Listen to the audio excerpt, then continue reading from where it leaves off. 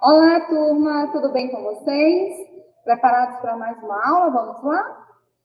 Aula 115, de 6 de julho, terça-feira. A nossa área de hoje é Matemática e Ciências da Natureza, com o tema É Normal Ser Diferente. E aí, o que, que vocês imaginam que vai ter na nossa aula? Olha só a imagem. O que, que tem aí? Vamos ver? Mas antes, Vamos lá marcar no nosso calendário, dia 6 de julho. Isso mesmo, já se passaram seis dias do nosso mês. E vamos lá. Quero que vocês prestem atenção nessa música.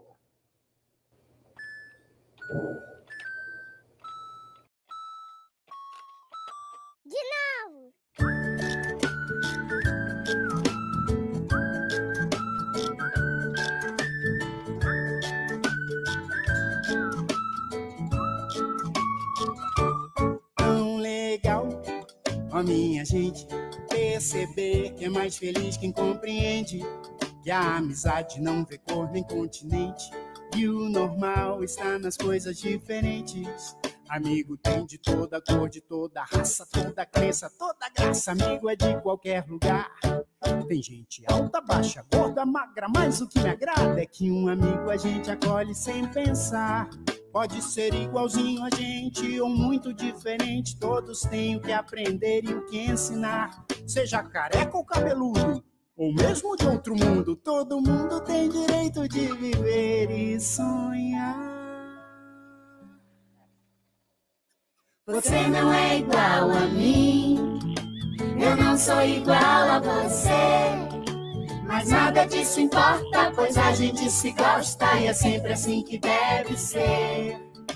Você não é igual a mim. Eu sei. Eu não sou igual a você. Sei também. Mas nada disso importa, pois a gente se gosta e é sempre assim que deve ser. Eu tenho amigos de todos os jeitos e de todos os lugares. Mesmo eles sendo diferentes, eu gosto muito deles. A verdadeira amizade. Tão legal Ó, minha gente, perceber que é mais feliz quem compreende que a amizade não vê cor nem continente. Que o normal está nas coisas diferentes. Amigo tem de toda coisa, toda raça, toda crença, toda graça, amiga de qualquer lugar. Tem gente alta, baixa, gorda, magra, mas o que me agrada é que um amigo a gente acolhe sem pensar. Pode ser igualzinho a gente ou muito diferente, todos têm o que aprender e o que ensinar. Seja careca ou cabeludo, ou mesmo de outro mundo. Todo mundo tem direito viver e sonhar. Você não é igual a mim. Eu sei. Eu não sou igual a você. Mas nada disso importa, pois a gente se gosta e é sempre assim que deve ser. Você não é igual a mim, Não, não, eu não sou igual a você. Mas nada disso importa, pois a gente se gosta e é sempre assim que deve ser. Você não é igual a mim, eu não sou igual a você. Mas nada disso importa, pois a gente se gosta e é sempre assim que deve ser. Você não é igual a mim, eu não sou igual a você. Mas nada disso importa, pois a gente se gosta e é sempre assim que deve ser. Não importa se você é diferente de mim. Eu gosto de você mesmo assim. É isso aí. Que não! Você é meu amigo, mesmo sendo alto, baixo,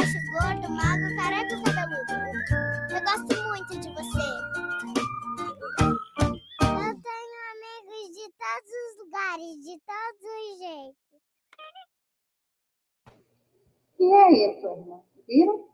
A gente não precisa ser igual para a gente se dar bem com ninguém. Olha só essa foto. Que foto linda essa, né?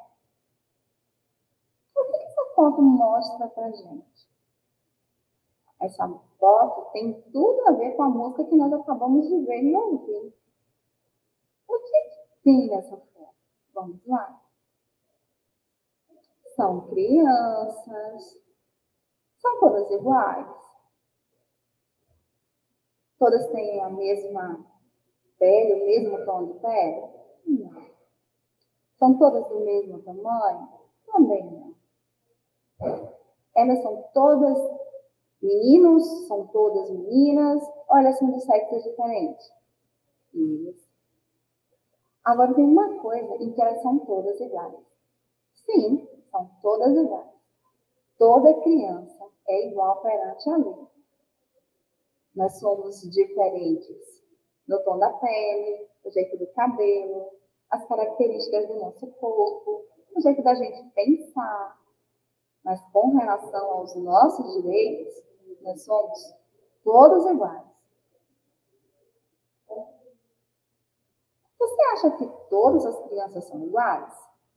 Observe a opinião de algumas crianças sobre o assunto. Vamos ver o que elas têm para dizer. Esse aqui diz que não, porque a minha opinião nem sempre é igual à dos outros.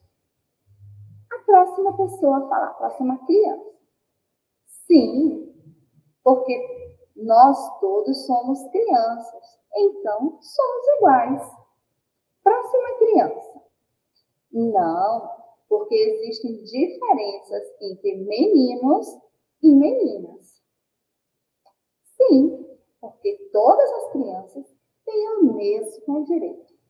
Olha só, quatro crianças com opiniões diferentes. Vamos lá? Cada uma dessas crianças apresentou uma opinião sobre a mesma pergunta.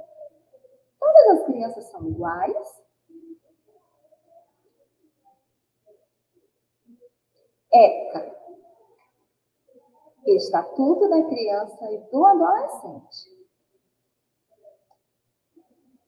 Diz que toda criança tem direito à dignidade, a viver em comunidade, a ter cultura, esporte, lazer, família, educação, saúde, felicidade e diversão.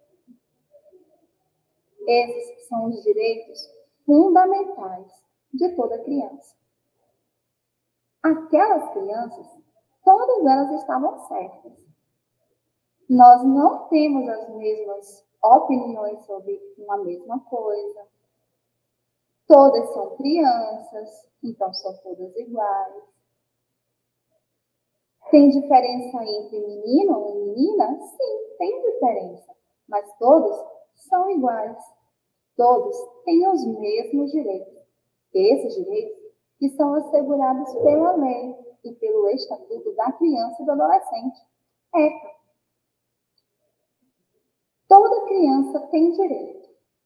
Direito à vida e à saúde, direito à liberdade, ao respeito e à dignidade, direito à convivência familiar e comunitária, direito à educação, à cultura, ao esporte e ao lazer, direito à profissionalização e um direito à proteção no trabalho. A criança não trabalha, o trabalho infantil é crime. Mas todos esses direitos são assegurados a vocês. Vocês precisam estar em família, vocês precisam conviver numa comunidade familiar, dentro da comunidade escolar, dentro da comunidade que é o seu bairro. Você precisa ser respeitado. Você tem direito à sua vida. Você tem direito à saúde. Essas coisas são os direitos que toda pessoa, ao nascer, recebe. Vimos que somos todos iguais perante a lei. Agora veremos que somos diferentes Todos temos a nossa individualidade. Olha só. Eu, Hélida e Anderson estamos aqui trabalhando, querendo que vocês recebam a parte do direito de vocês, que é a educação. Eu sou mulher, Anderson é homem, mas nós temos os mesmos direitos os mesmos deveres. Diante da lei, nós somos todos iguais. O que diferencia? As nossas características individuais. E elas são muito importantes. Vamos ver um poema? Olha só. Pessoas são diferentes, de Ruth Rocha. São duas crianças lindas, mas são muito diferentes. Uma é toda desdentada, a outra é cheia de dentes. Uma anda descabelada, a outra cheia de pentes. Uma delas usa óculos e a outra só usa lentes. Uma gosta de gelados, a outra gosta de quentes. Uma tem cabelos longos, a outra corta eles quente. Não queiram que sejam iguais. Aliás, nem mesmo pentes. São duas crianças lindas, mas são muito diferentes. A Pró colocou aqui um menino e uma menina. Mas duas meninas não são iguais, nem dois meninos são iguais. Todos nós, apesar de toda criança ser criança, cada criança é diferente uma da outra. Apesar de todo adulto ser adulto, nós temos as nossas características diferentes. E isso, como a Pró já falou, é muito importante. Ruth Rocha mostra, através desse texto, as características de cada um de nós. Ela afirma que todos são lindos do jeitinho que somos. Índios, negros, os esquimós, aquele que vive lá no gelo. O pessoal da zona urbana, o pessoal da zona rural, loiros, negros, brancos, todos somos humanos.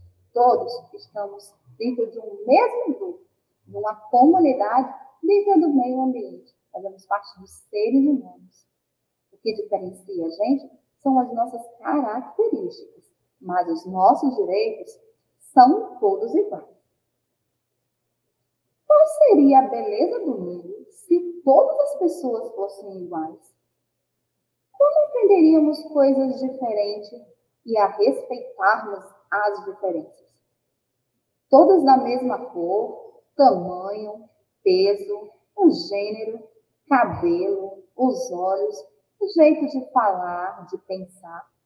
Imagine um mundo inteiro de pessoas iguaizinhas a você. Imaginou? Pensa aí, fecha o olhinho. Imagina aí um mundo cheio de pessoas iguaizinhas a você. Pois é. A diversidade é o que torna a nossa vida mais leve, mais alegre e mais interessante. Eu tenho um desafio para você, o desafio do espelho. No papel, você vai descrever as suas características físicas e os seus gostos. Você vai pegar em um papel e você vai escrever como é você. Cor da pele, cabelo, os olhos, o que você gosta, o que você não gosta, entendeu? É isso que você vai fazer no papel. De frente para o espelho, você vai ver o seu reflexo, a sua imagem lá por inteiro. Vai se olhar todinho, de cabeça aos pés. E você vai olhar no papel e você vai conferir cada uma delas. As características físicas, nós podemos observá-las através do reflexo do espelho. Uma foto. Mas as características que são os nossos gostos, as nossas particularidades, essas a gente observa no jeito que a gente age, as coisas que a gente gosta. E depois você vai fazer o seu autorretrato. Você vai fazer um desenho seu. O autorretrato é quando nós desenhamos a nós mesmos, tá bom? Esse é o desafio do espelho. Olha só, Pro trouxe mais ou menos como é que você vai fazer. Essa sou eu, presta atenção. A Proélida, eu sou baixinha, gordinha, morena, os meus cabelos e os meus olhos são castanhos, eu tenho um jeito diferente de falar, eu gosto de desenho animado, de cinema, eu amo ser professora, eu amo a natureza e os animais. Aqui, a Pro colocou as características físicas, cor da pele, altura, tudinho. E colocou as coisas que eu, que eu gosto, entendeu? Aí, ó, fiz o meu desenho. Pronto. Essa aí sou eu. A mesma coisa você vai fazer no desafio do espelho, tá bom? Somos seres únicos no mundo. Nas nossas digitais, esses desenhos que você tem aqui nos dedos. Nos documentos pessoais, nossa linha do tempo, isso, isso nós já vimos em outras aulas de ciências humanas. Nós estudamos muito sobre a nossa individualidade. Você sabia que até as nossas medidas podem ser iguais ou diferentes das outras pessoas? É, nem sempre as pessoas que têm a mesma idade, elas têm as mesmas características físicas. É verdade. Vamos conferir? Estes são Elias e Betina. Eles são amigos, moram na mesma rua e estudam juntos. Vamos conhecer mais sobre eles? Olha só. Elias e Betina. Eu sou Elias, tenho oito anos e nasci em 14 de maio de 2013. Eu tenho 115 centímetros e 46 quilos. Calço 35. Ele falou as características físicas dele, tá bom? E Betina? Eu sou Betina, tenho oito anos, também nasci em 14 de setembro de 2013. Eu tenho 109 centímetros e 36 quilos. Calço 33. Betina também deu todas as suas características. Eles dois têm oito anos. Mas as características deles não são iguais.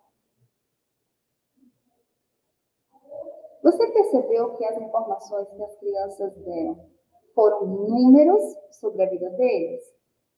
E quais são os números da sua vida? Quando a gente fala da nossa altura, a gente utiliza números. Quando a gente fala do nosso peso, também utilizamos números. Os números nos acompanham desde a hora do nosso nascimento. Quando nós nascemos, o médico nos coloca numa balança, vê com quantos quilos nós nascemos, mede a nossa cabeça, mede o nosso comprimento, mede o nosso pezinho. Isso, os números nos acompanham desde a hora do nascimento. E depois eles vão estar lá na nossa certidão de nascimento, com a data completa, a hora que nós nascemos, é, vai estar presente também o tamanho que nós nascemos lá na nossa certidão, o número da nossa casa, todo um endereço completo. Nós nascemos e recebemos um número, que é o número da folha onde nós fomos registrados no cartório. Então, os números fazem parte da nossa vida desde esse momento a gente continuar crescendo e desenvolvendo, os números estarão no nosso dia a dia. Vamos verificar os dados que recebemos sobre eles? Mas antes, preste atenção. Nós vamos agora recordar a medida de comprimento. Aquela que a gente usa fita métrica, régua, trena, que nós vamos medir os centímetros e o metro. Recordando que 100 centímetros é igual a 1 metro.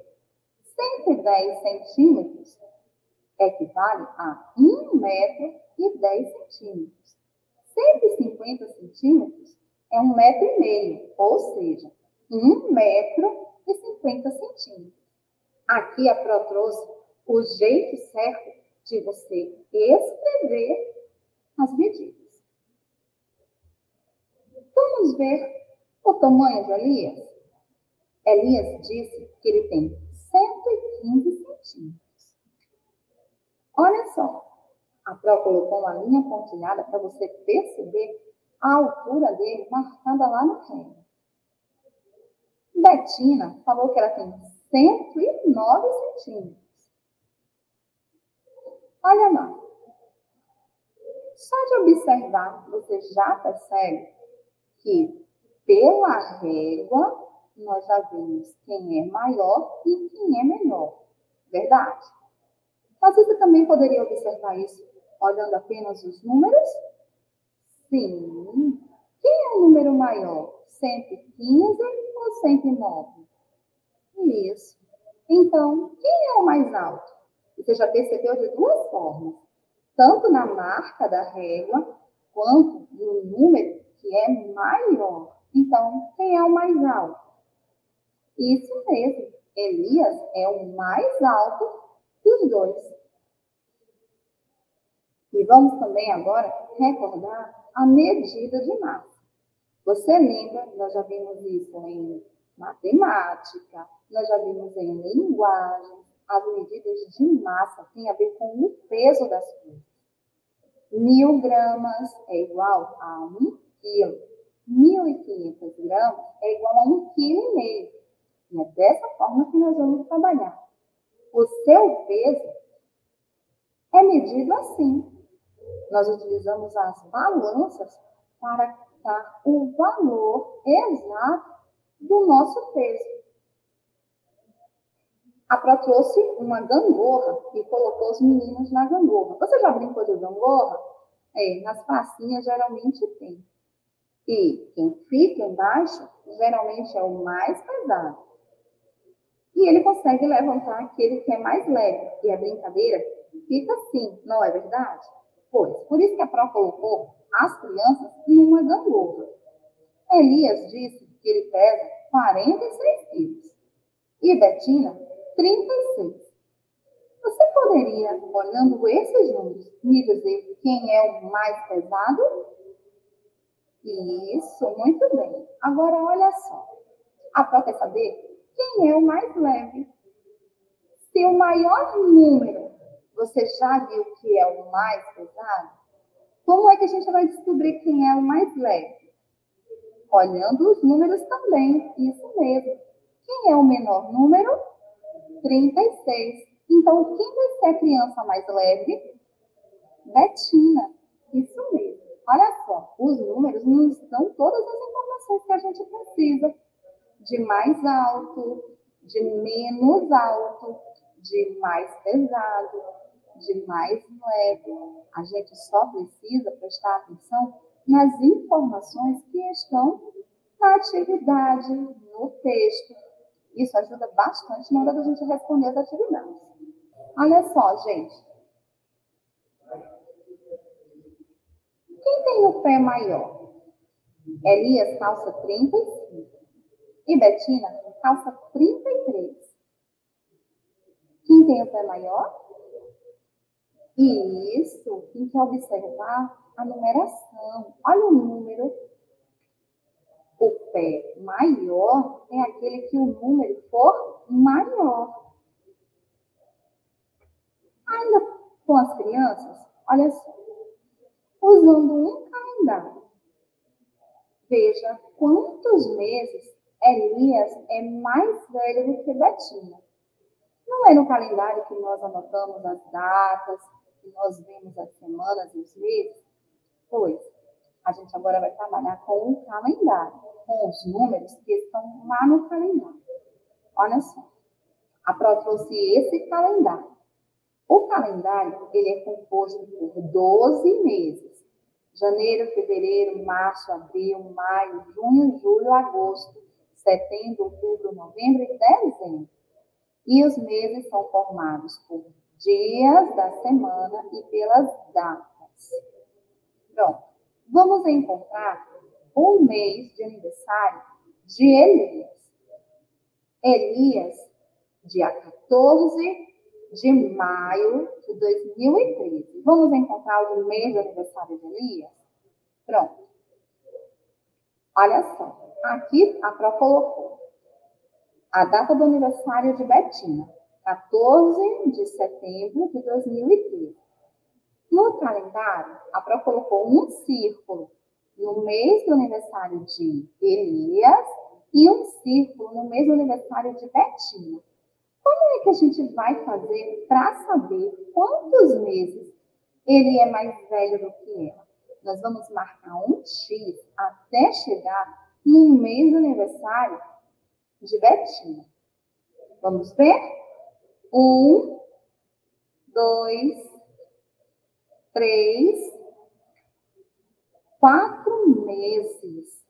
Ó, a Pro não botou um X no mês de maio, porque o mês de maio foi a nossa referência, o nosso ponto de partida. Então, nós só vamos marcar a partir do outro mês. Então, foi maio, junho, julho, agosto, setembro. Elias é mais velho do que Betina, quatro meses. Entendeu? Pois é. E vamos continuar estudando sobre os números na nossa vida? É, como você já ouviu, e em outras aulas também, os números fazem parte do nosso dia a dia. Os números fazem parte de tudo na vida, até mesmo dos nossos gostos e preferências. Eles podem servir na construção de gráficos. Lembra quando nós estudamos os gráficos? Que nós fazemos uma pergunta, uma entrevista, e aí nós vamos construir um gráfico com as respostas? Isso, muito bem. Nós tivemos dois tipos de gráficos. Nós trabalhamos com os gráficos de barra vertical, que a gente pinta de baixo para cima, e nós trabalhamos também com os gráficos de barra horizontal, que a gente pinta da esquerda para a direita. Desse jeito que a Pró colocou aí na imagem. Nós vamos utilizar os gostos e as preferências para a construção de um gráfico. Vamos observar aqui direitinho? Após uma aula sobre diferenças e semelhanças, o professor Rodrigo percebeu que os seus alunos gostam muito de frutas, mas não das mesmas frutas. Então, o professor Rodrigo resolveu mostrar o que percebeu através de números. Decidiu montar um gráfico sobre frutas preferidas. Os nossos gráficos, aqueles que nós construímos em outras aulas, nós também fizemos assim. Gosto de sabor de sorvete, sabor de picolé, brinquedo preferido. E nessa aula aqui, o professor vai construir um gráfico a partir das preferências, do gosto dos seus alunos. Olha só. Ele colocou assim: vimos que as pessoas têm gostos diferentes. E na turma do professor Rodrigo foi construído um gráfico para saber quantos alunos gostam das mesmas frutas. As frutas que as crianças mais gostam foi laranja, morango, banana e maçã. Os alunos disseram lá que gostavam muito. Ah, eu gosto muito de banana, eu gosto, eu prefiro maçã. E o professor percebeu que essas quatro faziam parte do gosto de todos. Então ele quis saber quantas gostavam de cada uma delas. Laranja, olha só, teve essa quantidade de votos. Ele perguntou sobre o morango. E foi essa outra quantidade. Esse aqui foi mais ou menos do que a primeira. Isso, mais. Olha a banana e a maçã. O professor perguntou aos seus alunos dessas frutas que eles costumavam comer, qual era a preferida. E de acordo com a preferência de cada criança, foi feito esse gráfico. Olha só, qual foi a fruta que teve mais votos? Observando somente pelas cores, você pode identificar? Pode, né? Isso. E quantos votos recebeu? Oito votos. Vamos conferir? De baixo para cima, tá bom? Um, dois, três, quatro, cinco, seis, sete, oito. A banana foi a fruta preferida de oito crianças. E qual fruta teve menos votos? A laranja. Quantos votos a laranja recebeu? Tem como você contar? Vamos ver? Quatro. Um, dois, três, quatro. Existem só apenas essas frutas? Só existem essas frutas? Não. Existem muitas frutas, uma variedade enorme de frutas. Mas essas foram as frutas da preferência das crianças da sala do professor Rodrigo. E entre elas, ainda tivemos a que recebeu mais votos e a que recebeu menos votos. Você pode fazer isso na sua casa, com seus amigos, com seus primos, perguntar qual é a preferência deles, porque o nosso gosto não é igual ao de ninguém. Pode coincidir de alguém gostar tanto de uma fruta quanto você, mas esse não é obrigado. Os gostos, as preferências são particulares de cada um. E os números, eles podem ser ordenados na sequência. Nós já vimos medida, altura, não foi? A medida da altura, a medida do pé, a medida do peso, a medida da idade. Eles dois tinham oito anos de meses diferentes. Nós contamos a diferença de meses entre um e outro. E agora nós vamos ordenar alguns números numa sequência crescente. Os números são arrumados de duas formas. Na ordem crescente, quando ele vai do menor para o maior, e decrescente, quando é o contrário, quando ele vai do maior para o menor. Aqui a prova começou com 10, depois tem 11. Então, 10, 11, qual seria o próximo número? Vamos lá? 12, 13, 14, 15. Olha, os números da prova estão crescendo, eles estão aumentando mais um.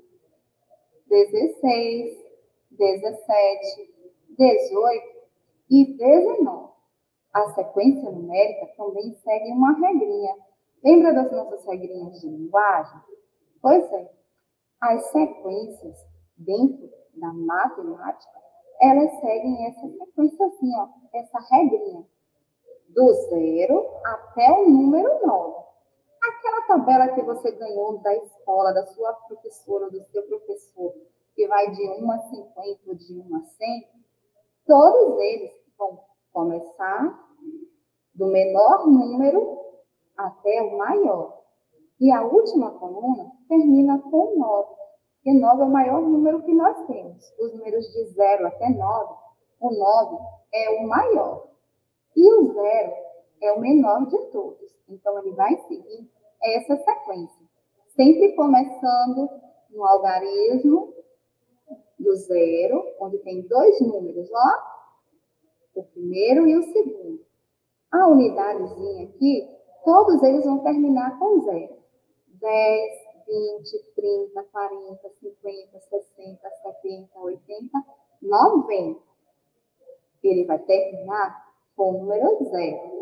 E nós vamos seguir até chegar na casinha lá, onde termina com 9. Aqui nós temos 50 e 51.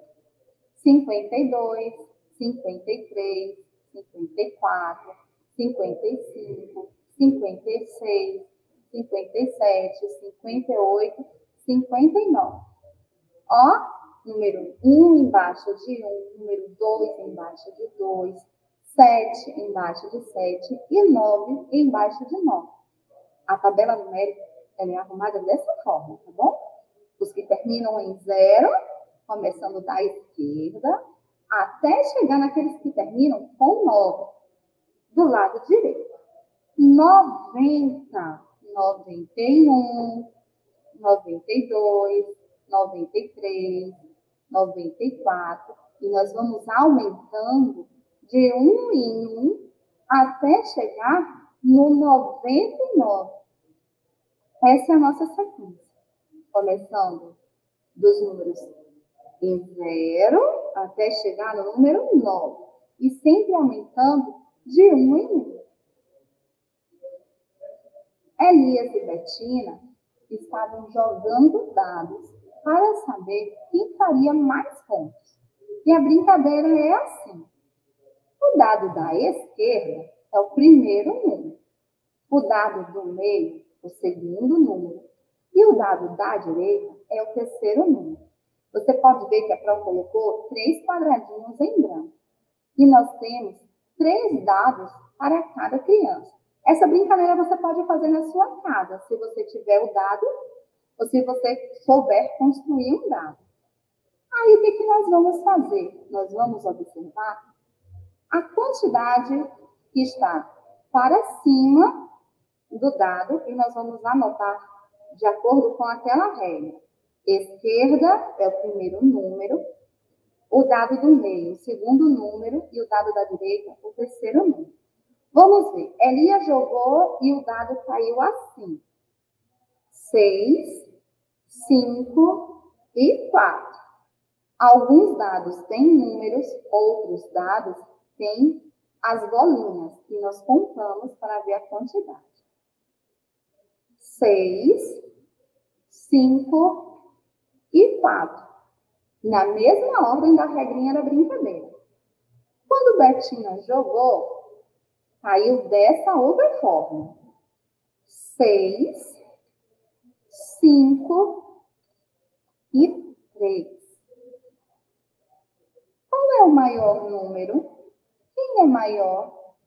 654 ou 653? Isso.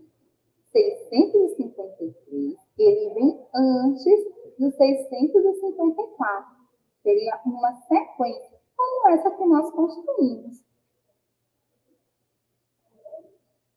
Ainda brincando com os dados, eles acrescentaram mais um dado e tentarão formar números segundo, segundo o ano que eles nasceram. Olha só, a data que a gente nasce é formada por dois números. Eu sou do dia 19. 19 é 10 mais 9, então escreve 1 e 9. A troca é do mês de agosto. Quando a gente vai registrar, escreve um número lá, né? Coloca o um número. Então, é 8. E o ano que a gente nasce tem quatro números.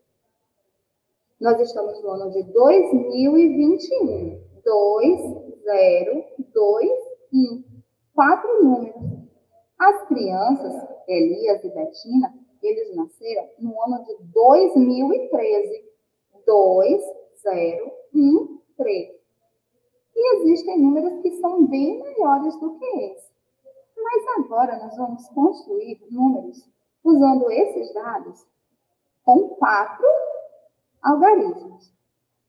O primeiro dado é o da esquerda, o segundo dado vai ser o segundo número, o terceiro, o terceiro número, e o quarto dado, o quarto número. Naquele que foram de três, a gente trabalhou direita, esquerda e o meio. Aqui nós temos quatro. Então, vai ser primeiro, segundo, terceiro e quarto, tá bom? Vamos lá? Número 3. Número 6. Número 6 de novo. E o número 5. Olha só. 3, 6, 6, 5. Sabe como é que a gente lê esse número bem grande? 3.660 e 5. Grande, né? Vamos ver os dados de Betina? 5, 1, 2, 6. Vamos ler? 5 mil cento e vinte e seis. Quem é o maior número?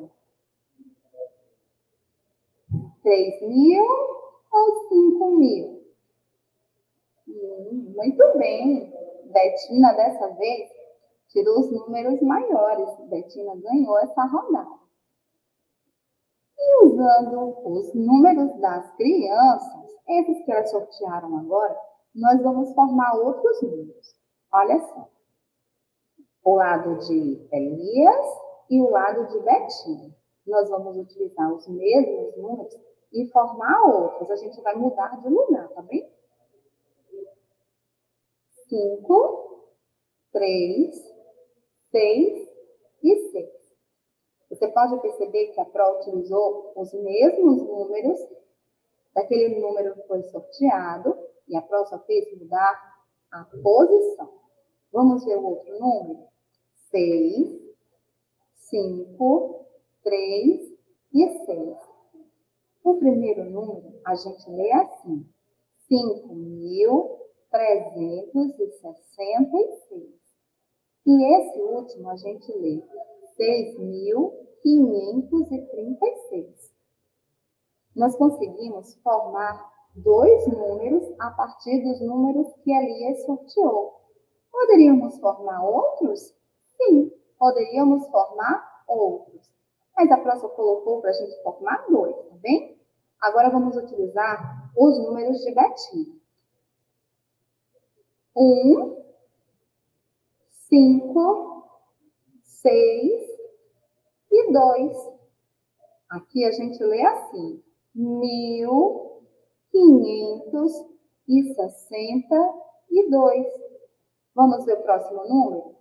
Dois, seis, cinco e um. Dois mil seiscentos e cinquenta e um. A gente poderia formar outros números? Sim, também poderíamos formar outros números a partir desses quatro que Betinha sorteou. E agora nós vamos montar números de três algarismos. Agora tem uma regrinha, presta atenção. Com os números abaixo, forme três maiores números que você consegue com três algarismos. Atenção, você só pode usar um de cada destes números uma única vez. Aqui a gente só vai poder utilizar um número uma vez. Então, não vai poder utilizar de novo. Nós vamos formar números de três algarismos. Um, dois, três. Que nem a primeira partida dos dados de Betina e de Aline. E a gente não vai poder repetir nos outros números. Olha só. Nove, oito e sete. Olha o número que a Fran encontrou. O maior que tinha. 987. A Pro não vai poder mais usar nem o 9, nem o 8 e nem o 7. Vamos ver quais os outros números a gente pode usar? 6, 5 e 4. 654. Olha, a Pro não repetiu vamos precisar formar um outro número. 3, 2, 1. 321. O pró sobrou outros números. Sobrou, mas nós já tínhamos usado o 8, o 5, o 7. Então, nós utilizamos apenas um número por vez sem repetir, e encontramos três números com valor bem alto, sem repetir nenhuma vez. E agora nós vamos formar apenas dois números com quatro algarismos. E vamos seguir a regra. Nós não vamos poder repetir os números. Vamos ver? Um, zero, dois, oito. Mil e vinte e oito. Ah, a gente não fala zero aí, não, viu? A gente só fala assim, ó. Mil e vinte e oito. Três, sete, seis, quatro. Três mil setecentos e sessenta e quatro não repetimos nenhum número. Se nós fôssemos usar uma terceira vez, correria o risco de nós repetirmos. Por isso que a prova pediu que apenas dois algarismos, dois números com quatro algarismos. Você percebeu que os números estão em todos os lugares? Isso mesmo.